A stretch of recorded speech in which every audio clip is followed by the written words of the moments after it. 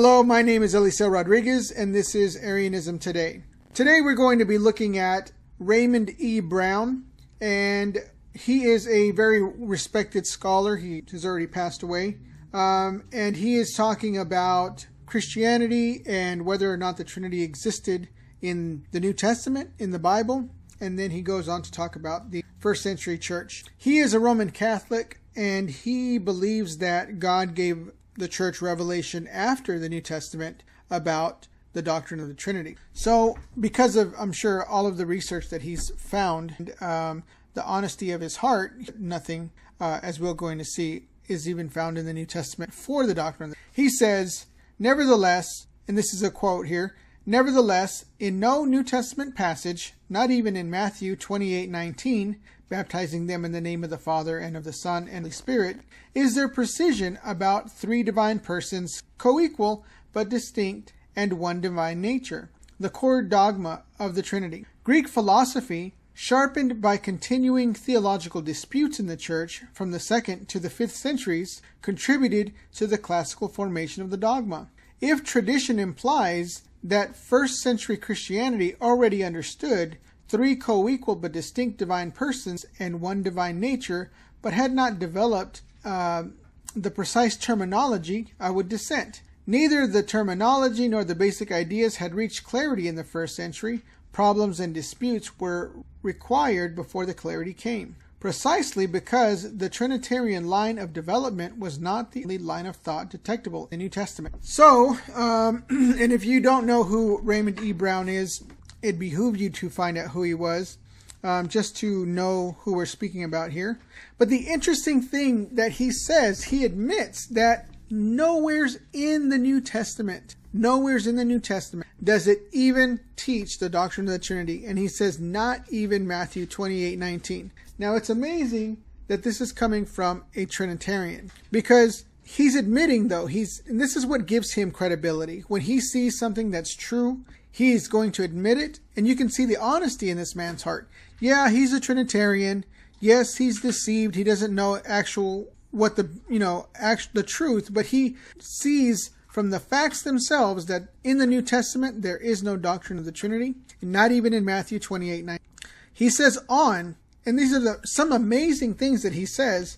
Um, he says that um, Greek philosophy, sharpened by continual theological disputes, disputes in the church from the second to the fifth centuries, contributed to the classical formation of the dogma. Now he's saying that it's Greek philosophy. Jesus is Jewish, and I'm sure he's not coming from Jewish philosophy when he comes to uh, talking about God and everything else. It would be, you know, it needs to be Jewish philosophy, but he's saying that Greek philosophy that that's where the doctrine of the Trinity comes from. Greek philosophy, sharpened by continuing theological disputes, is what made the doctrine of the Trinity become what it was. He's saying that it's the battling and the fighting, and you know, amongst the church that made the doctrine of the Trinity come forth.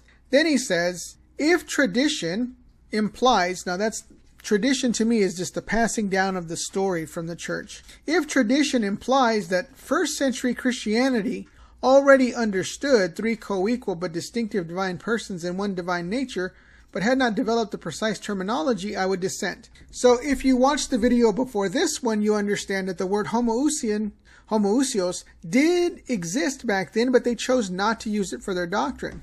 And uh, Raymond uh, Brown is saying that if tradition, if church tradition is trying to tell the narrative or you know, cast the story or the history of the church as though they knew the doctrine of the Trinity, he would dissent. That means he would oppose that doctrine, that tradition. So the important part that I believe is is that he says the first that first century Christianity. He didn't say the apostles, he didn't say the apostolic fathers, he said first century Christianity. And if you think about it, Jesus was born obviously at 0 or negative 3 uh, depending on what you believe.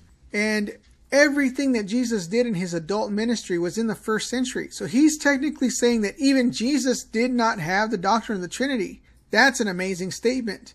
And the apostles did not have the uh, the doctrine of the Trinity. And the apostolic fathers did not have the doctrine of the Trinity. That's what he's saying when he says first century Christianity, which is amazing. Um, and then he says that that the Trinitarian line of development was not the only thought the only line of thought detectable in the New Testament. He's saying that there were some other things that could have it could have been. It could have been Trinitarianism, or it could have been a whole number of things. And one of them is Arianism. It could have been Arianism or it could have been Trinitarianism. There's not too many doctrines that fit into the New Testament. Arianism fits into it perfectly well with no further explanation. Trinitarianism, you need to imply a lot of Trinitarian thought and bias in there. Um, and then, so this is this is um, the truth. I mean, I believe that this man was seeking for the truth, and he saw that he had to admit Jesus, the apostles, apostolic fathers, did not have the doctrine, and that, my friends, is amazing. So, what are we searching for here? What are we doing with all of these? You know, searching for these apostolic fathers, searching through these scholars and seeing what they say. What are we looking for? We're looking for the truth, and we're seeing the truth has been admitted to, but we haven't been able to connect the dots. This is like, you know, a Sherlock Holmes thing where we're trying to find out what's the truth and we're finding bits and pieces of the truth and we're finding out we might have been duped into believing that the doctrine of Trinity was real when in all along it may have been Arianism. Thank you. You guys have a good night. Bye.